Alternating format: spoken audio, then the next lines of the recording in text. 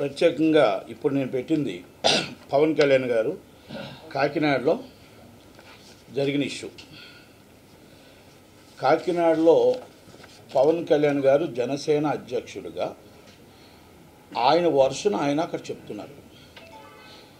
ఆయన వర్షం చెప్తున్నప్పుడు ఆయన జనసేన అధ్యక్షుడిగా అక్కడ ఏం చెప్పాలో ఆయన మాట్లాడుతున్నప్పుడు అది అక్కడ అక్కడ ఎమ్మెల్యే ద్వారపూడి చంద్రశేఖర్ రావు గారు. చంద్రశేఖర్ రెడ్డి గారి మీద అక్కడ ఉన్న ఆవియగా లోకల్గా ఇచ్చిన లిస్టు ప్రకారం కంపల్సరీ ఒక అధ్యక్షుడు మాట్లాడాల్సిన బాధ్యత ఉంటుంది మాట్లాడతారు. అది దాంట్లో రెక్టిఫై చేసుకోవాల్సిందా లేకపోతే ఏమైనా ఉంటే తప్పు ఉంటే తెలిసి సరి చేసుకోవాల్సిందా అధ్యక్షుడు చూసుకుంటారు వైసీపీ తరపు నుంచి జోర్పూడి చంద్రశేఖర్ రెడ్డి గారు మాట్లాడారు. కౌంటర్ ఇచ్చారు ఓకే సరిపోయింది. అయితే కౌంటర్లో ఆయన ఒక మాట అన్నాడు.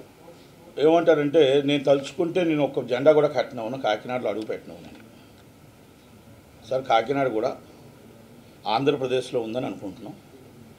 మీ అహంకారానికి ఇప్పుడు ఇన్ని మాట్లాడారు మీరు అన్నింటిలో సమాధానం చెప్పారు బాగుంది కానీ మీరు ఎప్పుడైతే మీరు అడుగు పెట్టనివ్వనండి మీ అహంకారానికి అది కనబడుతుంది మీ అహంకారం దాంట్లోనే కనబడుతుంది. ఎవరికైనా స్వేచ్ఛ ఉంది ఎవరికైనా మీరు అన్నారు దమ్ముంటే నా మీద నించొని వెళ్ళమని అది పవన్ కళ్యాణ్ గారు నించుంటారా ఇంకొక నించుంటారా ఇంకో నించుంటారా అనేది ఎక్సెట్రా విషయాలు. మనం తలుచుకుంటే బ్యానర్ కట్టినవను తలుచుకుంటే అడుగు పెట్టినవను అనేది ఇది కరెక్ట్ కాదు. ఇది పూర్తిగా అందరూ ఖండించవలసిన విషయమే. ఎందుకంటే కాకినాడ అయినా విశాఖపట్నం అయినా ఆంధ్రప్రదేశ్ రాష్ట్రంలోనే ఉన్నాయి. అదొక్కటి మనం తెలుసుకోగలగాలి. దారుపూడి చంద్రశేఖర్ రెడ్డి గారు మీ ఫాదర్ నుంచి మేము మేము ఇప్పుడు డిస్ట్రిబ్యూటర్ ఎగ్జిబ్యూటర్గా ఉన్నాం మీరు ఎగ్జిబ్యూటర్గా ఉన్నారు. పవన్ కళ్యాణ్ గారు మీకు తెలుసు మాకు తెలుసు. కానీ ఈ విధంగా మీరు పొలిటికల్గా మీరు ఎదుర్కోండి పొలిటికల్గా మాట్లాడండి. నేను మీ మాట్లాడిన పొలిటికల్ దానికోసం నేనేం మా దాంట్లో కామెంట్ చేయట్లే. ఎందుకంటే ఆయన చేసిన పవన్ కళ్యాణ్ గారి కామెంట్కి మీరు వైసీపీ తరఫున మీరు కామెంట్ ఇచ్చారు. ఇది పార్టీకి ప్రతిపక్ష పార్టీ అధికార పక్ష కాబట్టి కమిటీ ఇస్తారు. ఇది దీనికోసం నేను అనట్లే. అంటే మీరు ఎంత అహంకారంతో మాట్లాడారు అంటే మీరు అక్కడ కాకినాడలో అడుగు పెట్టడం అనేది రాంగ్ నేను దాన్ని ఒక్కదానే తప్పుపడుతున్నాను మీరు పార్టీలకు అతీత పార్టీలకు వ్యతిరేకంగా మీరు మాట్లాడారు. ఆయన చెప్పాల్సిన ఆయన చెప్పారు మీరు కౌంటర్ ఇవ్వాల్సిన మీరు ఇచ్చారు. దమ్ముంటే మీరు నిల్చోడమన్నారు ఓడిస్తానన్నారు. ఓకే అవన్నీ కూడా పార్టీ జనసేన పార్టీ వాళ్ళు వాళ్ళు చూసుకుంటారు. అక్కడ జనసేన పార్టీ లోకల్ నాయకులు చూసుకుంటారు. నాకు సంబంధం కానీ ఈ ఇలాంటి విషయాలు మనం ఒక్కటి అర్థం చేసుకోవాలి. మనం అడుగు పెట్టను అలాంటి మాట్లాడడం అనేది కరెక్ట్ కాదనేది నా ఉద్దేశం. ఎందుకంటే మీ ఫాదర్ భాస్కర్ రెడ్డి గారు కూడా తెలుసు నాకు. రాజశేఖర రెడ్డి గారి టైంలో ఆయన రైస్ మిల్ అసోసియేషన్ ప్రెసిడెంట్గా ఉండేటప్పుడు మేము కూడా కాంగ్రెస్ పార్టీలో ఉండేవాళ్ళమి. ఓకే? కనుక దాన్ని మీరు ఒక్కసారి జగన్మోహన్ రెడ్డి గారు కూడా అర్థం చేసుకొని ఇలాంటి మాటలు మాట్లాడితే మన నష్టం తప్ప లాభం ఉండదని మాత్రం అర్థం చేసుకోమని అడుగుతున్నాం. చేస్తాం ఇప్పుడు వై జనసేన అండ్ వైసీపీ నడుస్తున్న వారు ఆయన వారాహీనులు నడుస్తున్న ఆయన చెప్పవలసింది ఆయన చెప్తున్నాడు అక్కడ ఇవ్వాల్సిన కౌంటర్లు ఇస్తారు అవన్నీ common. Is party to party ఇక్కడ ముద్రగడ్డ పద్మనాభ గారు ఎందుకు వచ్చారు? ముద్రగడ్డ పద్మనాభం గారు పవన్ కళ్యాణ్ గారిని టార్గెట్ చేసి ఎందుకు రావాల్సి వచ్చింది? ఎందుకంటే ఆయన కాపు ఉద్యమ నేత. ఒక కాపు వ్యక్తిగా ఆయన్ని అభిమానిస్తాం. ఆయన ఒక పోరాట సమితి చేసేటప్పుడు నా వయసు ఇరవై సంవత్సరాలు. నేను ఆయన దాంట్లో ఎక్టుపాటు విశాఖపట్నంలో చేశానా లేదా అనేది ఇప్పుడు గుడివాడ అమర్నాథ్ గారు ఫాదర్ గుడివాడ గురునాథరావు గారు అవ్వచ్చు ఈటీ విజయలక్ష్మి గారు అవ్వచ్చు అక్కడున్న మొత్తం టోటల్గా ఎవరైనా అవ్వచ్చు ఇప్పుడు ధర్మశ్రీ గారు అవ్వచ్చు ఎవరున్నా కూడా ఆ రోజు రాధారంగా మిత్రమండలి సిటీ ప్రెసిడెంట్గా నేను చేసిన పోరాట సమితి గారు కన్వీనర్గా మేము ఏం కార్యక్రమాలు చేసామో ఆయనతో పాటు నల్లా సూచంద్ర గారు తెలుసు అలాగే సర్దార్ స్వామినాయుడు గారు తెలుసు మొత్తం టోటల్గా నేను ఎందుకు అంటున్నానంటే మొత్తం టో అందరికీ కూడా ఆ రోజు కాపుల్ని బీసీలో చేర్చాలనేది మీరు మీరు ఉద్యమం తీసుకొస్తే మేము రావులపాలెం నుంచి విజయభాస్కర్ రెడ్డి గారి టైంలో నేత్రపాల్ చంద్రరెడ్డి టైంలో కూడా మేము ఎట్టి పరిస్థితుల్లో మీతో పాటు కాపులు బీసీలో చేరుస్తారన్న ఒక నమ్మకంతో మీతో నడిచాం మీతో తిరిగాం. పిల్లలు యూత్ అందరూ కూడా ఎట్టి పరిస్థితుల్లో కుర్రలందరూ కూడా ఆ రోజు మా బీసీలకు ఏదో కాపులకు న్యాయం జరుగుతుంది అనుకున్నాం. కానీ ఆల్ ఆఫ్ ది సడన్ మీరు విజయభాస్కర్ రెడ్డి గారి దగ్గరికి వెళ్ళి కమిటీ వేశారని చెప్పేసి ఆ కమిటీని ఆ పుట్సం కమిటీ వేశారు కమిటీ వేసిన తర్వాత మీరు వెంటనే విత్డ్రా చేశారు. ఆ రోజు తర్వాత మళ్ళీ మాట్లాడలే. మళ్ళీ టీడీపీ ఎంపీ అయ్యారు. మన అంటే నేను ఉదాహరణకు మీకు చెప్తున్నాను. అలాగా అలాగా మనం ఎప్పుడైతే ఇది బీసీలో చేరుదాం మళ్ళీ ఒకసారి ఉద్యమం తీసుకొచ్చారు ఆ ఉద్యమం ఏవి కూడా సక్సెస్ కాలేదు. ఈరోజు కూడా మీరు కాపుల కోసం పోరాడుతున్నారంటే బాగానే బాగానే ఉంటుంది. కాపు చీఫ్ మినిస్టర్ ఎవరైనా కూడా స్వాగతించవలసిందే. కాపు పవన్ కళ్యాణ్ గారు అవుతారా? చిరంజీవి గారు అవుతారా? ఆ రోజు దాసనారాలు అవుతారు అనుకున్నాం. చేయకుండా అల్లంజావి అవుతారా? మీరు అవుతారా? లేకపోతే తోట తిరుమతులు గారు అవుతారా? ఎవ్వరు అవుతారా? ఎవ్వరైనా కాపు చీఫ్ మినిస్టర్ అయితే స్వాగతం. ఎందుకంటే కాపు చీఫ్ మినిస్టర్ అవ్వాలని కోరిక. దాంట్లో డౌట్ లేదండి. కానీ ఈ కాపు ఉద్యమానికి దోరపూడి చంద్రశేఖర్ రెడ్డి ఫ్యామిలీ వాళ్ళ తాతగారు ఇవన్నీ కూడా మీరు పెట్టారు. ఆ దన్నుగా ఉన్నారని అన్నారు. అది మరి నాకు అది నిజంగా మరి అది మీరు ఇప్పుడు చెప్పారు. అది నిజమా అబద్ధం మాకేదో తెలియదు కానీ ఆయన అభిమానం ఉండొచ్చు రంగా గారి అభిమానం ఉండొచ్చు ఆయన ఏమో సపోర్ట్ చేసి ఉండొచ్చు మనకి కాపుల మీద సానుభూతి ఉండొచ్చు. కానీ ఆ విధంగా మీరు ఆ ఉద్యమం వాళ్ళే నడిపారన్న విధంగా మీరు మాట్లాడడం అనేది కరెక్ట్ కాదనేది ముద్రగడ్డ పద్మనాభం గారికి మా వినపం రెండోది కాపు ఉద్యమ నేతగా మీరు పవన్ కళ్యాణ్ గారిని ఎందుకు వ్యతిరేకిస్తున్నారు? మీరు వైసీపీ నాయకుడిగా మాట్లాడండి. ప్రాబ్లం లేదు. కానీ కాపు ఉద్యమ నేతగా ఇష్యూ అక్కడ దోర్బూడి చంద్రశేఖర్ రెడ్డి గారు పవన్ కళ్యాణ్ గారు జనసేన పార్టీ వైసీపీ పార్టీ నడుస్తున్నప్పుడు మీరెందుకు దాంట్లో నుంచి కాపు రెడ్డికి దీనికోసం ఎందుకు తీసుకొచ్చారనేది మా ఉద్దేశం. ఇది పూర్తిగా ఖండించవలసిన విషయం. ముందరగడ్డ పద్మనాభ గారు అది మీ విజ్ఞతకు వదిలేసిన పెద్దలు. మీరు ఎందుకంటే పవన్ కళ్యాణ్ గారు ఈరోజు ఆయన తిరుగుతున్నారు ఆయన ప్రయత్నం చేస్తున్నాడు. ఎస్ సీఎం సీట్ కావాలా? సీఎం సీట్ అవుతారు ఆయన. ముప్పై సీట్లు వస్తాయా? ముప్పై ఐదు వస్తాయా? ఈరోజు ఎలా ఆఫ్టర్ ఎలక్షన్స్ సీఎం ఆయన అవుతారా? ఇంకొకరు అవుతారా? ఎవరు అవుతారా అనేది మీరు ఇప్పుడు ఎవరి కాలు ఊహించుకుంటున్నారు. పార్టీలకు మీరు మాట్లాడుకోండి. ఆయన సీఎం అవరు చంద్రబాబు నాయుడు సీఎం చేస్తారు. ఏమండి? పార్టీలు ఎత్తుగడలు ఒక్కొక్కటి ఎత్తుగడలు ఉంటాయి. ఆ ఎత్తుగడలో ఆయన నేర్చుకున్నాడు. రెండు వేల తొమ్మిది వాళ్ళ నాన్న గారు అన్నయ్య గారు దెబ్బతిన్నారు. రెండు వేల పద్నాలుగు ఆయన దెబ్బతిన్నాడు పద్నాలుగు పంతొమ్మిది ఆయన దెబ్బతిన్నాడు కాబట్టి ఇప్పుడు ఆయన నేర్చుకొని ఆయన ఎత్తుగడలో ఆయన వెళ్తున్నాడు ఆయన ప్రతిదీ కూడా బూత్ వైజ్గా ఓటింగ్కి వెళ్ళాలనుకుంటున్నాడు. నిజంగా కాపు నాయకుడిగా ఆయన సపోర్ట్ చేయండి. మీరు అప్పుడు వైసీపీ వాళ్ళు వైసీపీ సపోర్ట్ చేస్తారు ఇక్కడ నుండి ఎక్కడ సపోర్ట్ చేస్తారు. అలా దాన్ని సపోర్ట్ చేయండి తప్ప వ్యతిరేకించడం అనేది కరెక్ట్ కాదనే ఉద్దేశం. ఓకే మీరు పార్టీ పార్టీలకు అయితే మాత్రం ఇప్పుడు అంబటి రాంబాబు గారు కౌంటర్ ఇచ్చారు.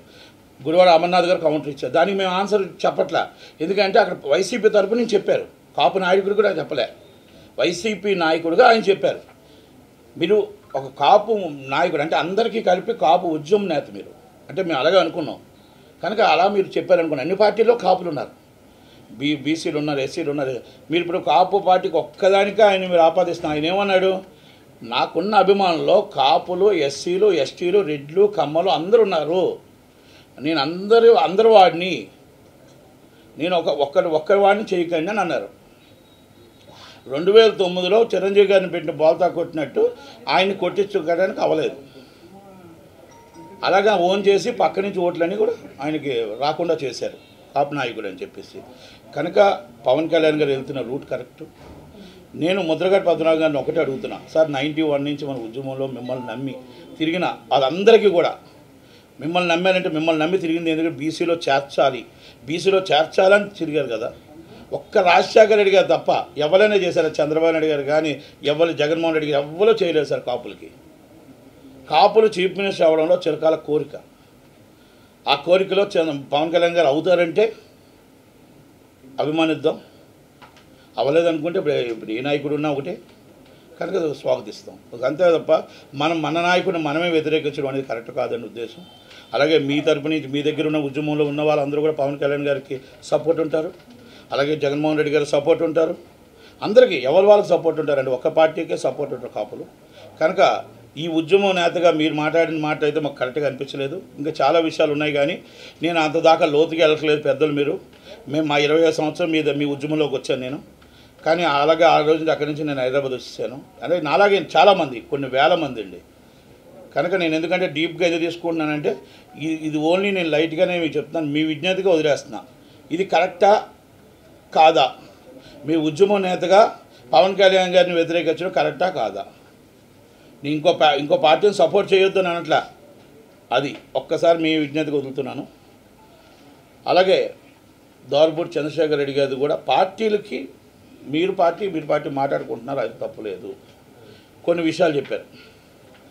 ఏదో దోర్బూడి చంద్రశేఖర్ రెడ్డి గారు అంటే నేను పొరపాటున మాట్లాడాను అనుకుంటున్నాను నేను.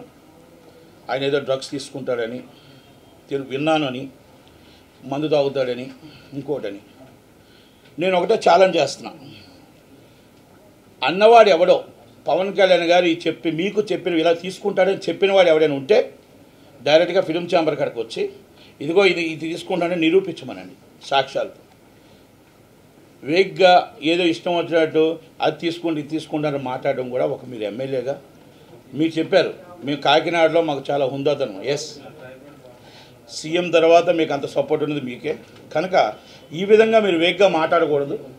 అలాంటి విషయాలు పవన్ కళ్యాణ్ గారి మీద మీరు మాట్లాడడం అనేది కరెక్ట్ కాదు.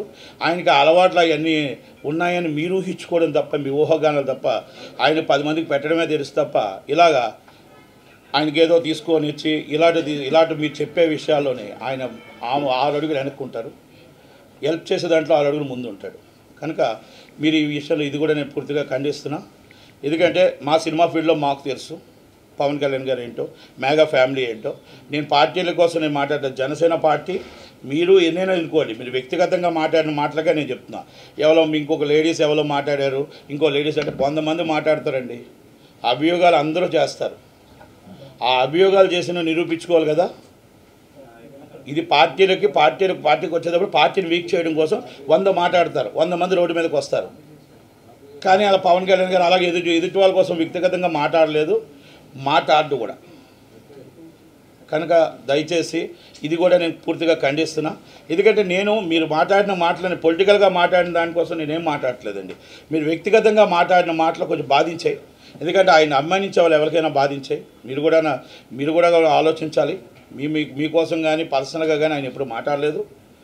కనుక ఇలాంటి విషయాలు అంటే అవి నిజమైతే మీరు చెప్పండి. నిజమైతే నిరూపించండి. మీరు అన్నారు ఛాలెంజ్.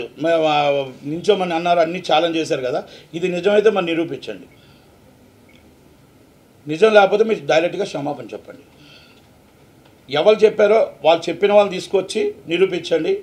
ఇలా తీసుకున్నారు పలానా టైము పలానా టైం అని నిరూపించగలగండి. నిరూపించలేకపోతే క్షమాపణ చెప్పండి. అంతే. నేను అడిగింది రిక్వెస్ట్. దోర్పుడు గారు మీ మీరు మాట్లాడిన మాటలు పొరపాటున మాట రావచ్చు. లేకపోతే ఎవరైనా తప్పుడు సమాచారం మీకు ఇవ్వచ్చు. అలాగే మీ మీద ఆయన మాట్లాడిన మాట అక్కడ ఫీడ్బ్యాక్ లోకల్ ఫీడ్బ్యాక్ రావచ్చు. లోకల్ ఫీడ్బ్యాక్లో నిజం ఉండొచ్చు కొన్ని అబద్ధాలు ఉండొచ్చు. కానీ పవన్ కళ్యాణ్ గారు ఒక అధ్యక్షుడిగా ఆయన మాటలో అక్కడ లోకల్ ఇష్యూస్ని మాట్లాడారు. ఒకవేళ ఏదైనా మీరు చెప్పారు. ఏమండి ఇది ఇది కరెక్ట్ కాదు ఇది కరెక్ట్ కాదు ఎంక్వైరీ చేసుకుని ఎస్ అది లోకల్ ఇష్యూస్ చెప్పొచ్చు. మీకు ఎలా చెప్పారో? ఇప్పుడు మా ఆయన మీద అది తీసు డ్రగ్స్ తీసుకుంటున్నారు అది తీసుకుంటున్నారు ఆయన మీద ఎలా చెప్పారో? మీ మీద కూడా అలాగే చెప్పి ఉండొచ్చు ఓకే మీరు డ్రింక్ చేయలేదు అన్నారు. పొరపాటున ఆయనకి పవన్ కళ్యాణ్ గారు మీతోనేమి ఎక్కువగా రాపలేదు. మీరు ఒక ఎగ్జిబిటర్. ఆయన ఒక సినిమా హీరో. ఓ సినిమా నిర్మాత నిర్మాత. కనుక ఆ రేప ఉండ లేదు కాబట్టి దాంట్లో తిరిగిపోయి ఉండొచ్చు. మీకు అక్కడ ఉన్న కన్నబాబు గారు ఉన్నారు. ఆయన కోసం బాగా పవన్ కళ్యాణ్ గారి కోసం తెలుసు. ఇవన్నీ మీరు ఎమ్మెల్యే గారు వైసీపీలో ఉన్నారు. ఆయన ఒక దీని నుంచి వచ్చారు. కాంగ్రెస్ నుంచి వచ్చారు. మన ప్రజారాజ్యం నుంచి వచ్చారు. కన్నబాబు గారు ఆయన జర్నలిస్ట్ కూడా. అడగండి ఒకసారి. మరి అలాంటి అలవాట్లు ఆయనకు ఉన్నాయో లేవో? ఎందుకంటే నీతి నిజాయితీగా సినిమాలు చేసిన వ్యక్తి కనుక అలాంటి వ్యక్తిని మీరు అనడం కూడా కరెక్ట్ కాదనేది నా ఉద్దేశం. కనుక ఏదున్నా దయచేసి నేను ఒకటే చెప్తున్నాను రాజకీయాలుగా నేను అంబర్గారిది నా గురువారి గురునాథ్ గారు ఎందుకు మాట్లాడలేదంటే గురువారు అమర్నాథ్ గారు ఎందుకు మాట్లాడలేదంటే వాళ్ళు వైసీపీ మా పార్టీ తరపు నుంచి మాట్లాడారు కాబట్టి నేను ఎందుకు మాట్లాడట్లే? ఇక్కడ కాపు నుంచి కాపు నాయకుడిగా మాట్లాడారు. బుద్రగారి పద్మనాభం గారు కాపు నాయకుడు ఆయన కాపు ఉద్యమ నేత. రాష్ట్రానికే మొత్తం టోటల్గా దేశానికి రాష్ట్రంలో ఎంతమంది కాపులు ఉన్నారో అంతమందికి ఉద్యమ నేత అని అందరూ అనుకుంటాం. కనుక వన్ సైడ్ మాట్లాడితే ఏంటంటే అది బాధ అనిపిస్తుంది కాబట్టి నేను ఒక పవన్ కళ్యాణ్ గారు టార్గెట్ చేయడం బాధ అనిపిస్తుంది కాబట్టి నేను దానికోసం మరి డిస్కస్ చే ఇంకోటి పవన్ ముద్రగడ గారు అడగవచ్చు. అప్పుడు మరి ఆ రోజు పవన్ కళ్యాణ్ గారు ఏమయ్యారు? పవన్ కళ్యాణ్ గారు రైలు ఇష్యూ జరిగింది కదా ఏమయ్యారు అని చెప్పేసి. ఆ రోజు కూడా ఆయన చెప్పాడు. నేను ఒక్క ఒక కులానికి నన్ను ఆపాదించకండి. అన్ని కులాలకి సంబంధించి నాకు అన్ని కులాల్లో నాకు ఫ్యాన్స్ ఉన్నారు. కనుక నేను అందరూ వాడిని కనుక నన్ను ఒక్క కులానికి ఆపాదించొద్దు దయచేసి అని చెప్పి ఆ రోజు కూడా ఆయన స్టేట్మెంట్ ఇచ్చారు. మళ్ళీ కూడా మీకు రిపీట్ చేస్తాను ఒక్కసారి మళ్ళీ అందరూ యూట్యూబ్లో చూసుకోండి. ఆయన ఏమి అప్పటి నుంచి ఇప్పుడు దాకా ఒకటే క్లారిటీలో ఉన్నాడు కనుక పవన్ కళ్యాణ్ గారిని దయచేసి ద్వారపూడి చంద్రశేఖర రెడ్డి గారు ఒక్కసారి అవి నిజం నిజమో కాదో ఒకసారి వెరిఫై చేసుకోండి. మీరు మళ్ళా దాని క్షమాపణ చెప్తారని నేను అనుకుంటున్నా. అది మీకు కూడా తెలియకుండా జరిగిందని అక్కడ లోకల్ ఫీడ్బ్యాక్ నుంచి వచ్చిందని అనుకుంటున్నా. అలాగే పవన్ కళ్యాణ్ గారు ఏమైనా ఉంటే ఆయన దాంట్లోనే రెటిఫై చేసుకుంటే రెటిఫై చేసుకోవడానికి అక్కడ లోకల్ ఇష్యూస్ ఉంటాయి కాబట్టి దాంట్లో ఆ- లోకల్ ఇష్యూనే మాట్లాడతారు తప్ప ఆయన ప్రత్యేకంగా వచ్చి మీకోసం ఆయనకి మీకేం కక్షలు లేవు మాట్లాడటానికి. కనుక ఇది క్షమాపణ చెప్తారని అనుకుంటున్నాను ద్వారపూడి చంద్రశేఖర్ రెడ్డి ఇప్పుడు విశాఖపట్నంలో మొన్న ఇప్పుడు విశాఖపట్నంలో ఎంవివి గారిది ఇంట్లో కిడ్నాప్ కేసు ఓకే ఇంట్లో కిడ్నాప్ జరిగింది. దాన్ని పోలీసులు చే చేశారు పట్టుకున్నారు. ఒక ఎంపీ ఫ్యామిలీని కాపాడారు. పోలీసులకు ధన్యవాదాలు. విశాఖపట్నంలో పుట్టిన వ్యక్తిగా పూర్ణ మార్కెట్లో పుట్టి పెరిగిన వ్యక్తిగా అక్కడ కంటెస్టింగ్ ఎమ్మెల్యేగా నాకు నాకు మొత్తం టోటల్గా నేను నాకు బిజినెస్ కూడా నాకు ఉన్న వ్యక్తిగా నేను ఒకటే నేను అడుగుతున్నా. నేను ఇరవై ఒకటో తారీఖు సారీ పదిహేడు పదకొండు రెండు వేల ఇరవై మూడు రెండు వేల ఇరవై ఒకటి. నేను సీఎం గారికి ఒక లెటర్ రాశాను సీఎం గారికి ఏం రాశానంటే sir seventy one to seventy nine. Seventy one to seventy nine ఇరవై రెండు వేల రెండు వందల ఇరవై గజాల విస్తరణలో ఉన్న సిబిఎన్సి ప్రాపర్టీ అంటే చర్చ్ బాప్టిస్ట్ చర్చ్ ప్రాపర్టీ పక్కన చర్చ్ ఉంటుంది సిరిపురంలో ఉన్న ప్రాపర్టీ. ఇది ఆల్రెడీ సుప్రీంకోర్టులో ఉంది CBNC church nineteen forty nine Canada ప్రభు కెనడా వాళ్ళు ఇక్కడి నుంచి కెనడా వాళ్ళు వెళ్ళిపోతూ వెళ్ళిపోతూ వాళ్ళు ఈ మనం ఏమంటామంటే చర్చులకి వాళ్ళు డెవలపింగ్ కోసం అని ఇది మొత్తం టోటల్గా ఇచ్చాపురం నుంచి అప్ టు ఒంగోలు దాకా వాళ్ళ సైట్స్ ఏదైతే అప్పుడు మన కెనడా వాళ్ళు చేసిందో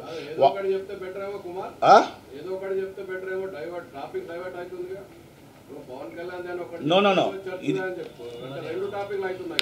కదా. ఇది ఇంపార్టెంట్ కదా. అందుకే ఆఫీస్ చెప్పాను కదా. పవన్ కళ్యాణ్ ముద్రగడ్డ అది అయిపోయింది ఓ, ఇదే ప్రెస్ మీట్లో రెండు మూడు చెప్తా ఆ, ఇంకోటి ఉంది ఇంకో రెండు ఉన్నాయి మళ్ళీ మూడు. ఉన్నాయి ఉన్నాయి ఇక్కడ చెప్తాను తప్పకుండా? ఇప్పుడు ఆ రోజు రెండు వే ఇరవై రెండు వేల రెండు వందల ఇరవై ఐదు గజాలు విస్తరణలో సిబిఎన్సి చర్చ్. ఆ పక్కన ఉన్న స్థలం మొత్తం టోటల్గా అది సిబిఎన్సీ చర్చ్ది. సిబిఎన్సీ చర్చ్ సంబంధించిన సైటు. ఇది నేను కాదు నా చిన్నప్పటి నుంచి అక్కడ బంగ్లా హాస్టల్ లేడీస్ హాస్టల్ అన్నీ ఉండేవి. ఇది ఒక రెండు సంవత్సరాల క్రితం రెండు వేల ఇరవై ఒకటి అంటే ఇరవై ఒకటో సంవత్సరంలో అక్కడ మొత్తం టోటల్గా రాత్రి రాత్రి ఒక కొంతమంది వచ్చి మొత్తం నైట్ నైట్ డిమాలస్ చేశారు. పర్మిషన్లు ఆ డిమాలస్ చేయకముందే పర్మిషన్ ఇచ్చేసారు అప్పుడు కల జీవీహెచ్ఎంసీ కమిషనర్ సుజన గారు పర్మిషన్ ఇచ్చారు. పర్మిషన్లు ఇచ్చి దానికి ఆ పర్మిషన్ ఇచ్చిన దాంట్లో మాలిని త్యాగరాజన్ అని ఉన్నది. మాలిని త్యాగరాజన్ ఉన్నది. ఇప్పుడు వచ్చి అక్కడ ఎంఈబీ గారి బోర్డులు ఉన్నాయి. ఏదో ఇప్పుడు ఇందాక ఎందుకంటే దీనికోసం నేను ఎత్తకపోతున్నాను రెండు వేల కోట్ల రూపాయలు నేను ప్రాజెక్టు సిరిపురం సెంటర్లో చేస్తుంటే నలభై ఐదు రోజులు అయింది నేను బ్లాస్టింగ్ పర్మిషన్ అడుగుతున్నప్పుడు గవర్నమెంట్ ఇవ్వట్లేదని. నేను జగన్మోహన్ రెడ్డి గారికి పదిహేడో తారీఖు నాడే రాశాను. అలాగే నారా చంద్రబాబు నాయుడు గారికి కూడా రాశాను. అమిత్ షా గారికి కూడా రాశాను. ఈ సైటు చర్చ్ సైటు సుప్రీంకోర్టులోని హైకోర్టులోని ఆల్రెడీ ఇక్కడ మీకు కింద కోర్టులో case so many cases pending ఉన్నాయి. ఇది ఆల్రెడీ కమిటీ ఏంటంటే nineteen forty nine. Nineteen forty nine committee వాళ్ళు వెళ్ళిపోతే వెళ్ళిపోతే వాళ్ళు ఉండవు అప్పుడంటే స్వతంత్రం వచ్చింది కాబట్టి వాళ్ళు ఒక కమిటీ ఫామ్ చేశారు. కమిటీ ఫామ్ చేస్తే nineteen seventy four high court ఇచ్చిన ఆర్డర్ ఏంటంటే ఈ సైట్ని ఎవరు అమ్మటానికి హక్కుదారులు కాదు మెంబర్స్కి. కానీ దాన్ని ఎవరైతే ఉన్నారో కొంతమంది స్వార్థం కోసం కొంతమంది అమ్మడం అది దొంగతనంగా రిజిస్ట్రేషన్ జరగడం క్యాన్సిలేషన్ జరగడం ఇవన్నీ కూడా కోర్టులో పెండింగ్లో ఉన్నాయి.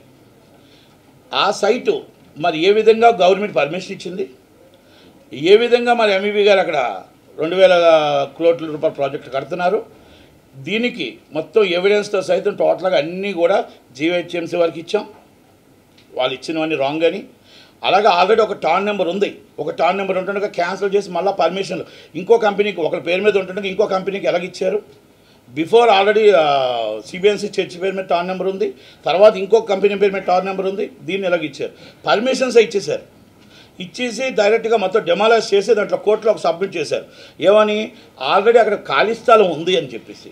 ఖాళీ స్థలం లేదని గూగుల్ నుంచి మొత్తం టోటల్గా గూగుల్ నుంచి ఫోటోలు డౌన్లోడ్ చేసి వాళ్ళు తీస్తున్నప్పుడు ఫోటోలు డౌన్లోడ్ చేసి కోర్టుకు సబ్మిట్ చేశాం. It's pending of high court case ఆ సైట్లో మరి రెండు వేల కోట్ల ప్రాజెక్టుని ఎంఈవి గారు మరి ఇప్పుడు ఆయన కట్టడం అనేది కరెక్ట్ కాదు. గవర్నమెంట్ ఇమ్మీడియట్లీ యాక్షన్ తీసుకొని దాని మీద ఇమ్మీడియట్లీ ఆపి అది మొత్తం పూర్తి ఎంక్వైరీ చేసి గవర్నమెంటేనే హ్యాండ్ ఓవర్ చేసుకోండి. లేదనుకుంటే ఆ చర్చెస్కి ఏవైతే ఉందో చర్చెస్కైనా హ్యాండ్ ఓవర్ చేయండి. దయచేసి జగన్మోహన్ రెడ్డి గారు పెద్ద మనసుతో ఆలోచిస్తారు. ఇది మళ్ళీ నేను చంద్రబాబు నాయుడు గారిని కూడా అడుగుతున్నాను. ఆయనకు కూడా రాశా. ఆ నియోజకవర్గం ఎవరు వస్తున్నాడు? వెలగపూడి రామకృష్ణ గారిది. ఆయన టీడీపీ ఎమ్మెల్యే. మరి ఆయన దాంట్లో అంత జరుగుతుంటే ఎందుకు మాట్లాడలేదు? ప్రతిపక్షాలు కూడా ఇప్పుడు ఎంత ఇష్యూ జరుగుతుంది అక్కడ. ఇప్పుడు ఎంత ఇష్యూలు జరుగుతున్నప్పుడు ఎందుకు మాట్లాడలేదు? ఎందుకు అవన్నీ కూడా దాని మీద అసలు ఎందుకు నో నోరెత్తట్లేదు? నేను ఆమె చంద్రబాబు నాయుడు గారిని కూడా అడుగుతున్నా. వెలంగూరు రామకృష్ణ గారు అక్కడే అదే నియోజకవర్గంలో ఉన్నారు. మీ టీడీపీ ఎమ్మెల్యే. అంత పెద్ద ఇష్యూ అంత రెండు వేల కోట్ల ప్రాజెక్టు. మీకు కూడా రాశాను నేను. అచ్చెన్నాయుడు గారికి రాశాను. సిఎస్ గారికి రాశాను. అక్కడ ఇంకా ఇంకా కొన్ని జరిగాయి. ఇవన్నీ కూడా నేను త్వరలోనే ఇది ఇక్కడ కాకుండా విశాఖపట్నంలోనే నేను పెడతా. దీని మీద ఇమ్మీడియట్లీ సిబిఐ ఎంక్వైరీ జరగాలి. దీని మీద అమిత్ షా గారికి కూడా రాశాను. సిబిఐ ఎంక్వైరీ నడిచి మొత్తం టోటల్ అక్కడ ఏవైతే అక్రమాలు జరుగుతున్నాయో అక్కడ జరుగుతున్నవి నేను ఓన్లీ నేను గవర్నమెంట్ ఈజ్ పర్ఫెక్ట్గా ఉన్నా అక్కడ చేస్తున్న లోకలు అవన్నీ కూడా ఎంక్వైరీ చేసి పూర్తిగా ఈ కిడ్నాప్ వ్యవహారంలో కానీ డబ్బు వ్యవహారంలో కానీ ఈ వ్యవహారంలో కానీ పూర్తి ఎంక్వైరీ నడాలని ఎంక్వైరీ నడిపించాలని నేను గవర్నమెంట్ని రిక్వెస్ట్ చేస్తున్నా. ఎందుకంటే ఇది గవర్నమెంట్కి బ్యాడ్ వస్తుంది తప్ప మంచి రాదు. ఆ గ- ఆయన నిన్న స్టేట్మెంట్ చూశాను. ఇవాళ స్టేట్మెంటో నిన్న స్టేట్మెంటో. నేను ఇంక విశాఖపట్నంలో తీయ విశాఖపట్నంలో నేను ఏమీ చేయను. హైదరాబాద్ వచ్చేస్తాను నేను. ఆయన చేసినవి కరెక్ట్గా ఉంటే ఆయన చేసిన ఉంటే ఏది గొడవలు జరగవు ఏమి ఉండవు. ఆయన చేసినవి ఏంటో అందరికీ తెలుసు అందుకే పూర్తి ఎంక్వైరీ ఆయన మీద చేయమంటున్నాం మనం. పూర్తి ఎంక్వైరీ జీవి గారి మీద ఆయన మీద ఎంక్వైరీ చేయండి. మొత్తం విషయాలన్నీ బయటకు వస్తాయి. ఇది కిడ్నాప్ వ్యవహారంలో ఏం జరిగింది ఏం జరిగింది ఇవన్నీ నేను అది కిడ్నాపా కాదా అనేది నేను దాని జోలికి వెళ్ళట్లేదు కానీ ఈ సైట్ ఇమీడియట్లీ ఆపాలి. అలాగే బ్యాస్టింగ్ కాదు ఏది కూడా పర్మిషన్లు అన్నీ ఆపాలి. అలాగే చంద్రబాబు నాయుడు గారు కూడా దీని మీద సీరియస్గా తీసుకుంటారో లేకపోతే మరి మరి మా- మా దాంట్లో మరి ఆయన ఏమి సమాధానం చెప్తాడో చెప్ వినాలి. ఎందుకంటే జగన్మోహన్ రెడ్డి గారు వెంటనే సీఎస్ గారికి పంపించడం జరిగింది. సీఎస్ గారు ఎంక్వైరీ చేసి ఎంక్వైరీ కమిటీ కూడా వేశారు. ఇది ఆల్రెడీ ఎంప్లాయీస్ మీద కూడా లోకాయుక్తలో ఆల్రెడీ కేసు నడుస్తుంది నేను వేసాను కనుక ఇవన్నీ కూడా ఒక్కసారి ఆ ప్రా ప్రాజెక్ట్ని ఎంఈవి సత్యనారాయణ గారు ఏదైతే ఈ ఇష్యూ జరిగిందో ఈ ఇష్యూ జరిగింది కాబట్టి ఇప్పుడు ఇవన్నీ నేను ముందు తీసు ప్రెస్ ముందు తీసుకురావాల్సి వచ్చింది. కానీ ప్రెస్కి రాకముందు నుంచి నేను ఆల్రెడీ లెటర్ రూపంగా నేను లీగల్గా నేను ఫైట్ చేస్తున్నాను కనుక విశాఖపట్నం అనేది మనకి ఇప్పుడు కాబోయే రాజధాని. ఈ రాజధానిలో ఒక విశాఖపట్నం వాసిగా దీని మీద పూర్తి ఎంక్వైరీ చేయమని ఎంక్వైరీ చేసి యాక్షన్ తీసుకోమని నేను మనం చేస్తున్నాను. Thank you very much Adipurush cinema. Adipurush cinema release అయింది. మొత్తం టోటల్గా కొంతమందికి వివాదాలు వచ్చాయి హిట్ అయింది కొంతమంది ఫ్లాప్ అంటారు ఇవన్నీ కామన్. సినిమా జోలికి నేను వెళ్ళట్లే. రెండు గవర్నమెంట్ల దగ్గరికి వెళ్ళారు. టూ డేస్లోనే హాఫ్ పర్మిషన్ ఇచ్చారు. నాలుగు వందల యాభై రూపాయలు టికెట్ ఇచ్చారు. సంతోషం. ఆ నిర్మాతకు డబ్బులు రావాలని కోరుకుంటాం. నాలుగు వందల యాభై రూపాయలు ప్రేక్షకులు చూడాలని కోరుకుంటాం. ప్రేక్షకులు చూశారు. డబ్బులు వచ్చాయి. రెండు ఆరు షోలు పర్మిషన్ అక్కడ ఆరు షోలు పర్మిషన్ మేము దాదాపు రెండు గవర్నమెంట్లు వచ్చిన కాడి నుంచి మేము రిక్వెస్ట్ చేసుకుంటున్నాం. ఇక్కడ గవర్నమెంట్లో చంద్రబాబు నాయుడు గారు జగన్మోహన్ రెడ్డి గారు గవర్నమెంట్ అవ్వచ్చు తెలంగాణ అవ్వచ్చు. మేము బతిమలాడుకుంటున్నాం. మేము ఇంకా రిక్వెస్ట్ చేసుకుంటున్నాం. మా బతుకు బతు బస్ స్టాండ్లో ఉంది. మా సినిమాలు చచ్చిపోయాయి చిన్న సినిమా ఐదో షో రెండున్నర షో ఇమ్మని మేము మొరపెట్టుకుంటున్నాం. మాకు ఒక్క జీవోలో చిన్న సినిమాలు రెండున్నరకు మస్టన్ షూట్ వేయాలి ఆయన ఒక్క రెండున్నర షో ఇమ్మని మేము రిక్వెస్ట్ చేసుకున్నాం. నాలుగు షోలు కాకుండా ఐదో షో ఇమ్మని మేము రిక్వెస్ట్ చేసుకుంటున్నాం. దయచేసి మా నిర్మాతలు అందరి తరపు నుంచి నేను కావాలంటే సీఎం గారికి రేపు సీఎం గారు కాలు పట్టుకోమని కాలు పట్టుకుంటాం అక్కడ సీఎం గారు కానీ ఇక్కడ సీఎం గారు మా సినిమా ఫీల్డ్ చిన్న సినిమా నిర్మాతలు దెబ్బతిన్నారు దెబ్బ తినేశారు సర్వనాశనం అయిపోతున్నారు. సీఎం గారు ఇంకా ఎలక్షన్స్ దగ్గరికి వస్తున్నాయి. ఐదో సంవత్సరం వచ్చేస్తుంది ఫస్ట్ ఎలక్షన్ అయిపోయింది సెకండ్ ఎలక్షన్ వస్తుంది. ఇప్పుడైనా మా నిర్మాతలకి మా చిన్న సినిమా నిర్మాతలకు న్యాయం చేయమని ఆ రెండున్నర షో జివో పాస్ చేయమని నేను అక్కడ జగన్మోహన్ రెడ్డి గారిని ఇక్కడ చంద్రశేఖరరావు గారిని నేను రిక్వెస్ట్ చేస్తున్నా అందరి తరపున నిర్మాతలు అందరి తరఫున రిక్వెస్ట్ చేస్తున్నా దయచేసి ఛాంబర్లో కౌన్సిల్ నేను కౌన్సిల్ జాయింట్ సెక్రటరీ కానీ ఎవరు వెళ్ళినా ఏం జరిగినా కూడా అది ఎవరి స్వార్థం కోసం వాళ్ళు అడుగుతున్నారు ఈయనకి ఆదిపురుషు కావాలి ఒకరు త్రిబులార్ కావాలి ఒకరికి ఇంకోటి కావాలి ఒకరికి ఇంకోటి కావాలి. మా ఐదో షో మాత్రం పట్టించుకోవట్లేదు. దయచేసి ఐదో షో పర్మిషన్ ఇమ్మని నేను చంద్రశేఖర గారిని నేను జగన్మోహన్ రెడ్డి గారిని అడుగుతున్నా దయచేసి చేతులు జోడించి నేను అడుగుతున్నా మా చిన్న సినిమాలని బతికించండి చిన్న నిర్మాతలు బతికించండి మా సినిమాలు ఆడే విధంగా చేయండి. చిన్న సినిమాలు ఆడితేనే కార్మికులకి భవిష్యత్తు ఉంది. కార్మికులు చిన్న సినిమాలు తొంభై పర్సెంట్ రన్ అవుతాయి పది పర్సెంట్ మాత్రమే పెద్ద సినిమా సినిమాలు రన్ అవుతాయి. ఈ చిన్న సినిమాలు బతకాలి అంటే ఐదు రెండున్నర షో కంపల్సరీ ఉండాలి. ఈ రెండున్నర షో నాకు మీకు ఇప్పించమని ఇంకా నాలుగు నెలలు ఐదు నెలలు ఎలక్షన్స్ ఉన్నాయి సార్. అక్కడ వచ్చి ఇంకొక తొమ్మిది నెలలు ఎలక్షన్స్ ఉన్నాయి. దయచేసి ఈలోగా మాకు జీవో పాస్ చేస్తారని ఆశిస్తూ ఆదిపురుషు మూడు రోజులు చేశారు. మీరు ఒక్క మూడు రోజులు తలుచుకుంటే అయిపోయింది. మేము ఇన్ని సంవత్సరాల పాటు అడుగుతున్నాం. ఒక్కరోజు మా ద- మా దాంట్లో దృష్టి పెట్టండి. మా కోసం పెట్టండి. మా దాంట్లో ఆలోచించండి. మా కోసం ఆలోచించి ఇద్దరు సీఎంలో చేస్తారని రిక్వెస్ట్ చేసుకుంటూ దయచేసి చేస్తారని ఆశిస్తూ సెలవు తీసుకుంటాను థ్యాంక్ యూ వెరీ మచ్.